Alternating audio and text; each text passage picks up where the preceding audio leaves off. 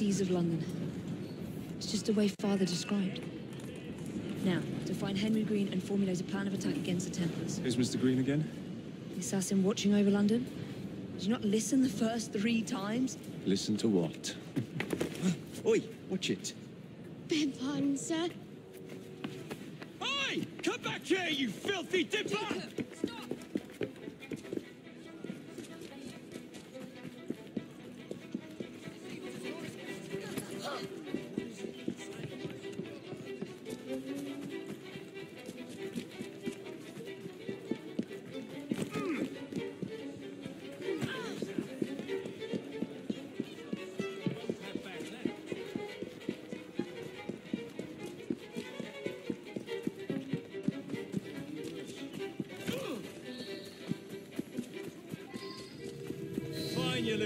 Keep it. Well, well. What do we have here? You're on our property. Oh, you touch my carving you!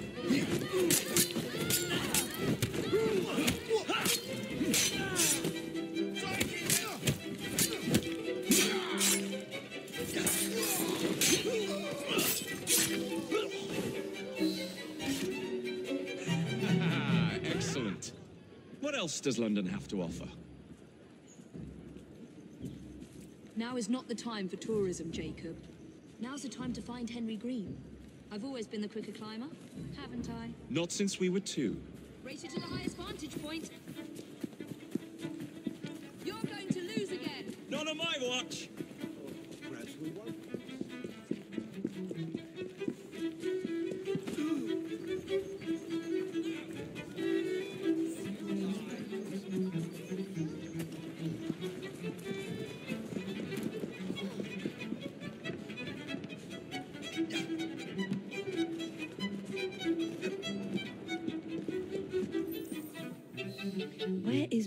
Shop located? It was marked on Father's map. Two assassins. Equal in height. One female, one male. Two decades old, and those devilish smiles. You must be the Frye twins. And you are? Henry Green, at your service. I was sorry to learn about your father's passing. Thank you. What can you tell us about Crawford Starrick? I suppose the Council desires news. London must be freed to provide a better future for all of its citizens. Well, thank goodness the Council saw reason and sent you to aid us. Yes. Thank goodness.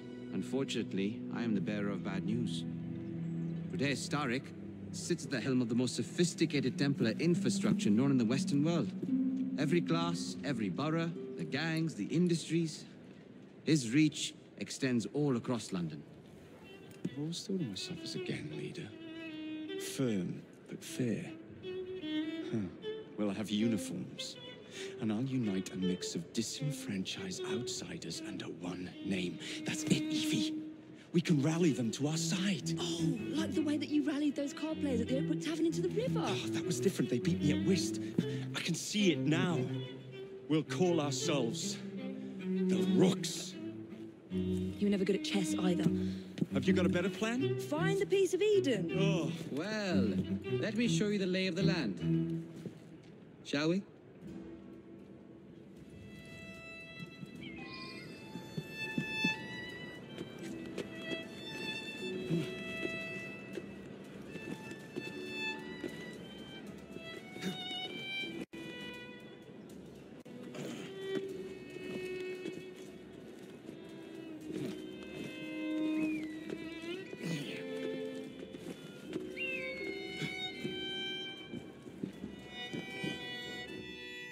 Look at what Starrick has done to the city. Whitechapel is riddled with crime. Child labor, despite regulations. A gang known as the Blighters overruns the streets. And Templars manipulating behind the scenes. As in all the other boroughs, we need to return this city to the people who built it in the first place. We will free London from Starrick. You have my word. And my Rooks. Miss Frye, your passion is inspiring. Come. Let us return to my shop, and I can bring you up to date on the rest.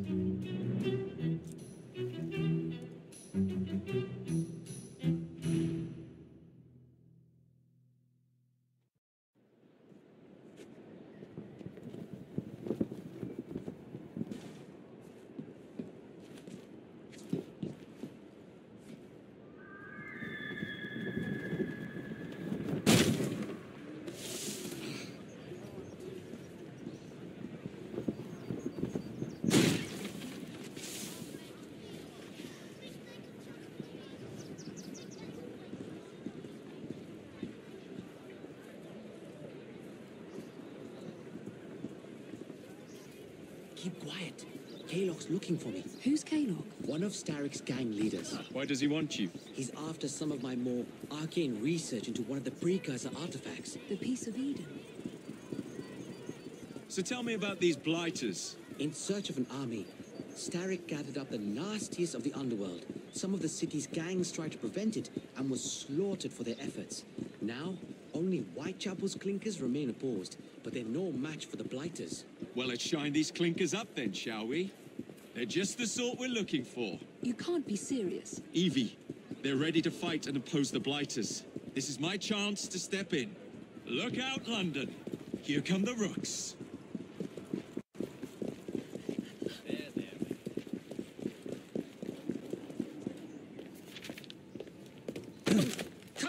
Confound this city. No one looks where they're going. Yes, I've noticed that. Bloody Drood. I'll never finish it at this rate. Only Providence knows where those words are headed now. Well, I must get to work replacing them. Should you ever be in the mood for a tale or two, you can always find me where the ale is warm and tempers are hot. Ta-ta! What an odd man. That Mr. Frye was Charles Dickens. Knows everyone and everything in the city. If I were you, I would keep that connection in your back pocket.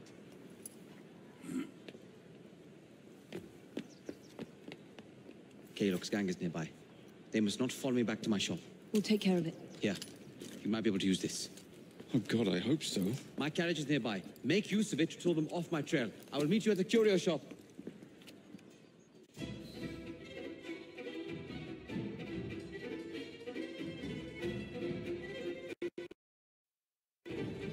Doing fine. We need to lead them away from Green. Here comes trouble. Their carriages are easily damaged.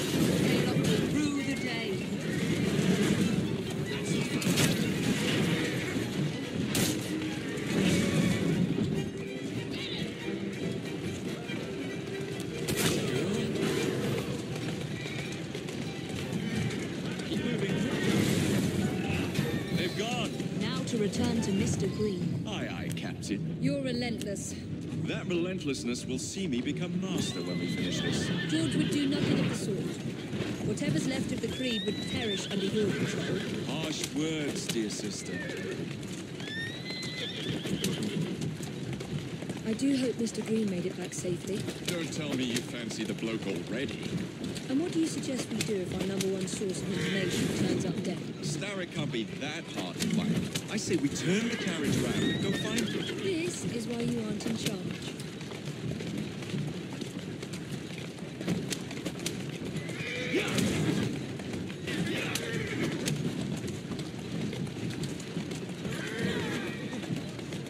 Easy, girl. Easy.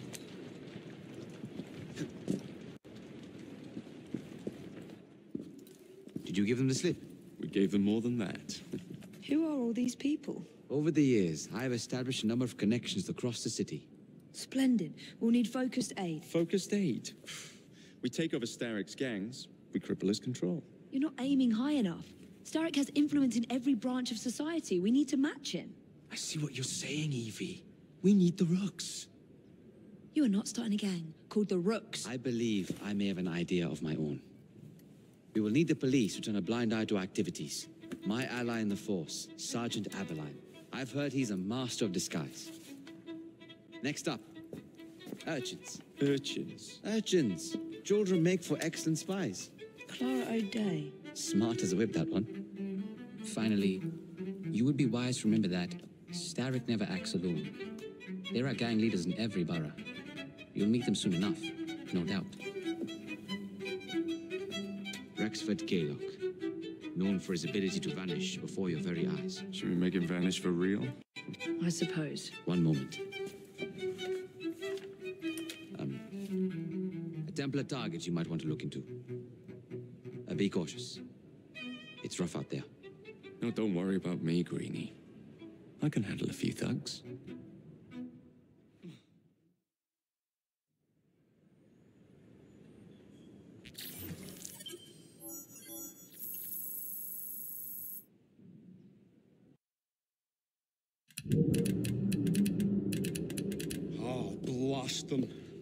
Alec, whatever is the matter?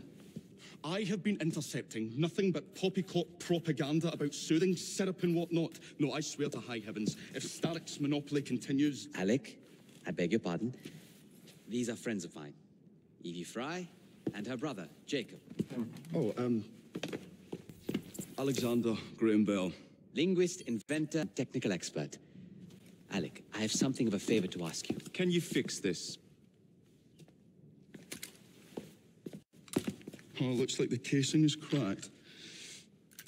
Oh, comes apart. I see. Could have used one of these to fit my fuses on top of Big Ben. Alec is installing a new telegraph line for our Free Press Association. To combat the Starrick Telegraph Company. Now, if I can mend the fuses connecting independent lines from Big Ben, Starrick will be weakened. Only we are somewhat at a handicap. And, yeah. Oh, I've removed the mechanism so it may work with your bracer. I'll put it to use immediately. Jacob, wait. Mr. Bell, allow me to help you with your fuses. Oh, you will not find me too proud to accept Miss Frye. Oh, uh, we can use my carriage if you'd be so good as to hold the reins, though. I'll take that. Um, I, I can help you.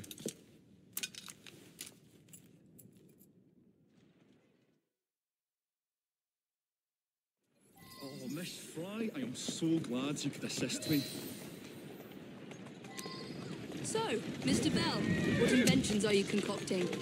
I intend to develop a phonetic telegraph that does not just convey boxing gadgets, Miss Frye. Human voice. Phonetic telegraph? Hmm. Sounds a bit of a mouthful. You could just call it a telephone. Telephone. How bizarre. Anyway, as I was saying earlier, the press has become entirely dependent on Starrick Telegraph. Which is why Mr. Green has asked you to set up a free line. Yes. What's more, other small independent companies have their lines sabotaged. Slow down. And they have little means of finding any broken fuses, which are To be found on top of Big Ben. correct. Especially as one.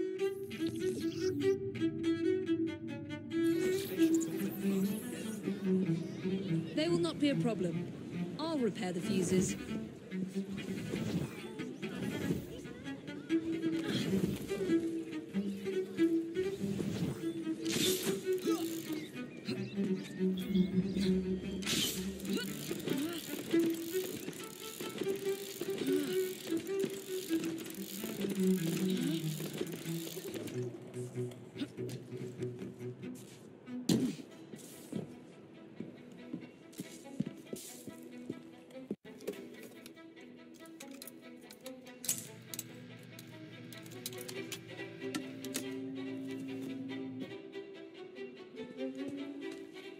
Lovely view.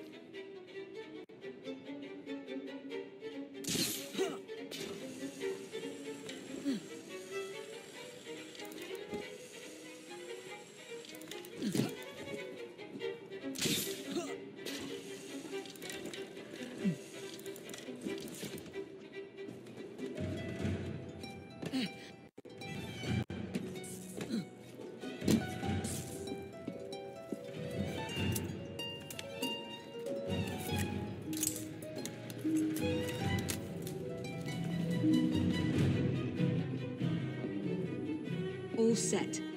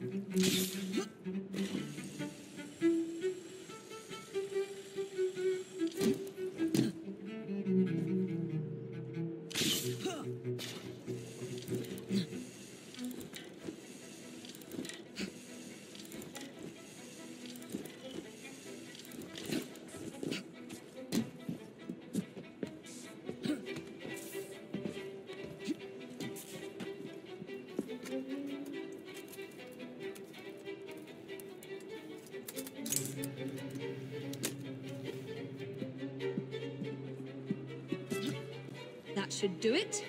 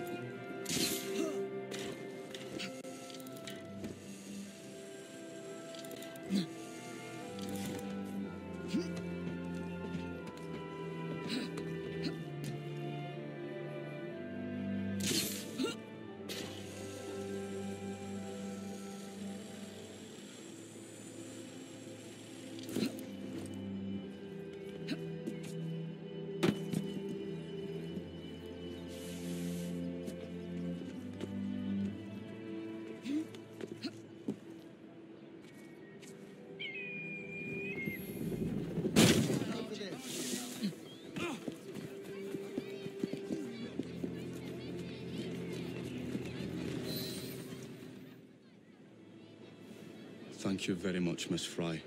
I will now be able to continue with the installation of the new line. If there's anything else I can do to help, But certainly, please do come and visit. Oh, uh, I was toying with this device and have noted down the formula for you. It's not perfect yet, but by golly, it works.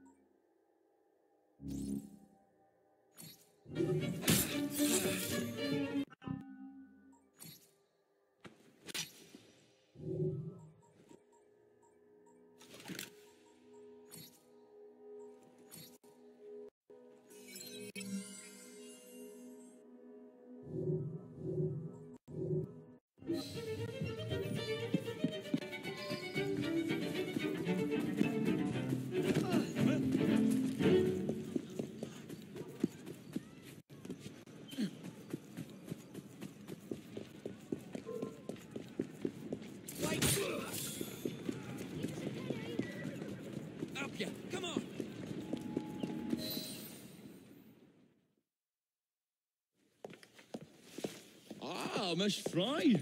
Uh, I was just showing Jacob the first message was received via the mended lines. Oh, uh, you can keep the rope launcher, by the way. Um, we've managed to procure another one for your brother. Excellent work. Thank you again. You're very welcome, Mr. Bell. We can now defend the principle of impartial news and free speech. Free is fair, but free and brief is far better. Ha ha! Ah, Frye, such caustic wit. And on that note, we must depart. Oh, uh, good fortune to you both. Uh, call on me a- a- anytime.